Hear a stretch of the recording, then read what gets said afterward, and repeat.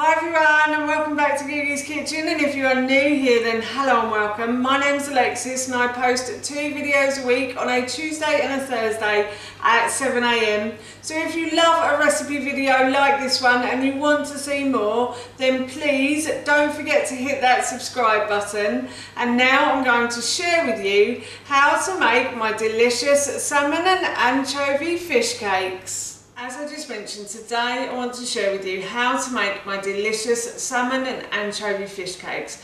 Now this recipe is really easy to do and in the past I have made a video about making salmon fish cakes but one day I decided to add anchovies to my salmon fish cakes and the results were so tasty. It just gave the fish cake that slight bit of saltiness that I love. So I decided to write a recipe for my blog and I will link my blog in the description box below as well. Um, and today we're going to be having these for our dinner this evening and of course while I was making them I thought I'd share the recipe with you. So here is how to make my delicious salmon and anchovy fish cakes. Firstly, I'm going to preheat my oven to 200 degrees. My oven has preheated, so I'm going to put my salmon into the oven and I'm going to cook this for about 12 to 15 minutes or until the salmon starts to flake away from itself and I'll show you that in a little while. As you can see I've put a large pan of water on a high heat on my hob and I'm just going to add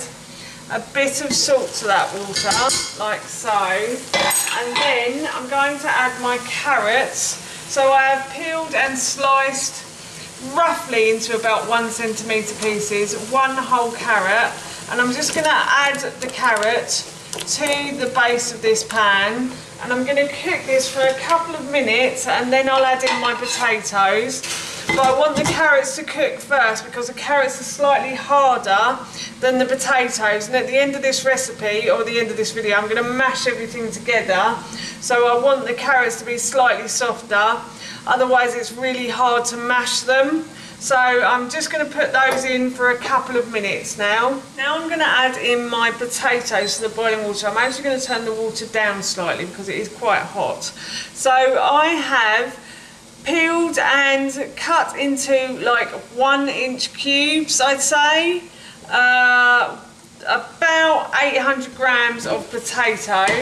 So I'm going to add that to my pot like so.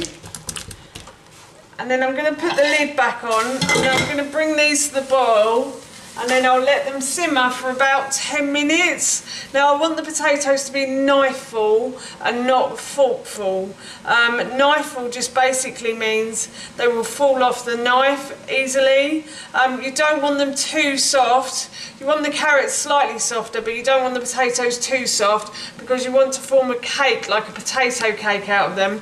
So you do need them slightly harder. So I'm only going to cook these for 10 minutes. While the potatoes are cooking, I'm going to cook off the spring onions. So I've put a small frying pan and I'm going to put that onto a high heat and then I'm going to add a little bit of oil to the base of that pan and I'm going to leave that pan to heat up. Pan is starting to get hot so what I'm going to do is I'm going to fry off my spring onions. So I have chopped the tops and the tails, or the bottoms, from the spring onions and I've cut these into like half centimetre pieces. I've used a whole bunch of spring onions. I'm making this as if I'm serving four people. Ted will eat probably a large fish cake and then I'm going to have one of these as leftovers tomorrow.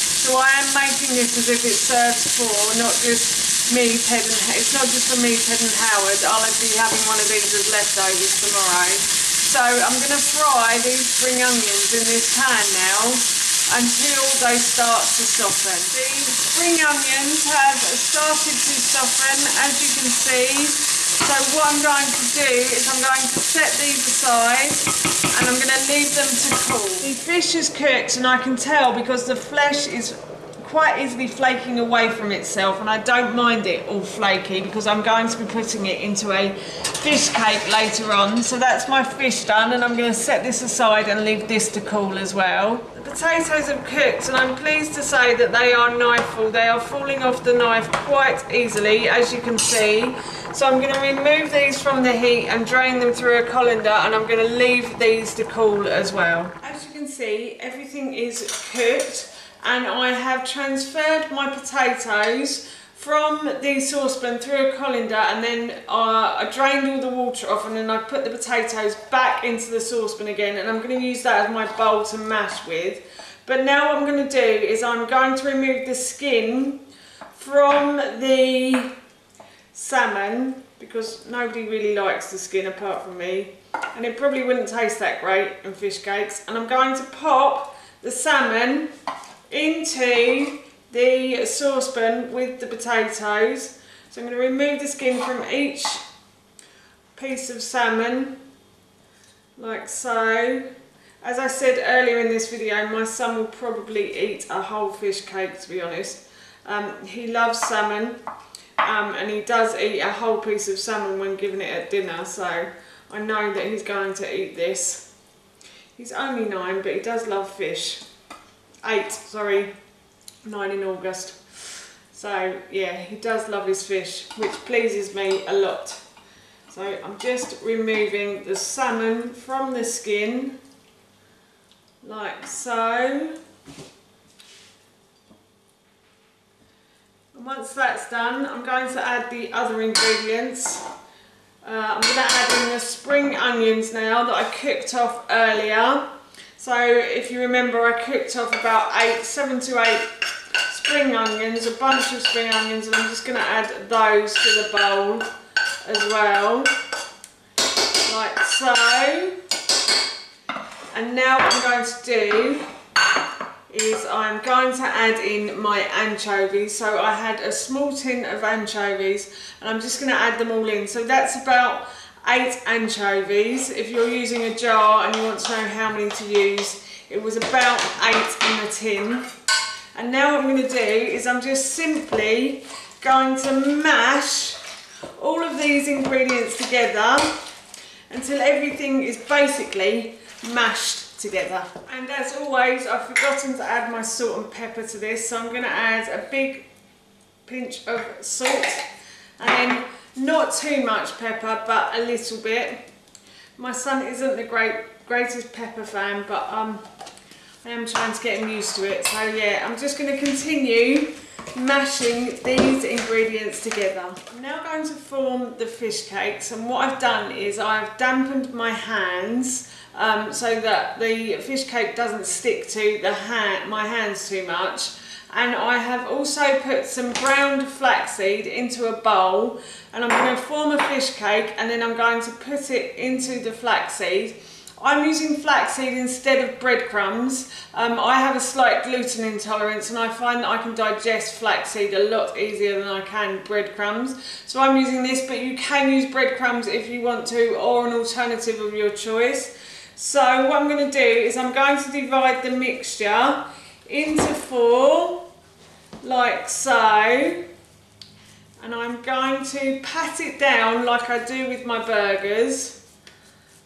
And then I'm going to, as I said, dip that until the fish cake is covered in the flaxseed. I think I put about four tablespoons of flaxseed into this bowl I may not need that much, but I've done it now. So I'll just show you that again. So I'm going to grab a big piece of the potato like so.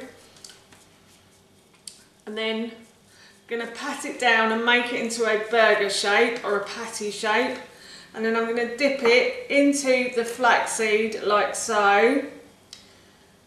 And I'm going to put this onto my plate. I'm going to go and wash my hands and I'm going to continue to make these fish cakes. I finished making the fish cake, so I'm going to put these into the oven for a couple of hours now. If you wanted to make these in advance of a meal, then you can. And that's the great thing about these fish cakes. You could make them in the morning and leave them in the fridge for the whole day um, and then just cook them off in the evening. You can also make them in advance and store them in the freezer as well. So if you wanted a really quick midweek meal, you could make these at the weekend and then just store them in the freezer for the mid for the midweek meal.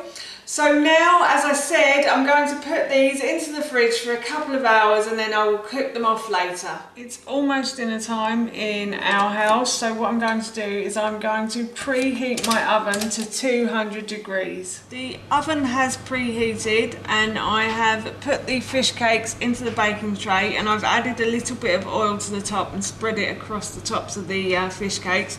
And I'm now going to put these into the oven for about 20 to 25 minutes or until they go golden brown. As you can see, the fish cakes are a lovely golden brown colour, so I'm going to serve these with some fried spinach, and that is our dinner done. That's how you make my delicious salmon and anchovy fish cakes, and that recipe I will link in the description box below for you. As I mentioned earlier, I'm going to be having these for my dinner this evening, and they smell so good. I can't wait to eat them. So for now, that's it from me. Thank you so much for watching. Please feel free to give me a big thumbs up if you enjoyed this video and please feel free to leave any comments below and please don't forget to hit that subscribe button. See you all soon. Bye.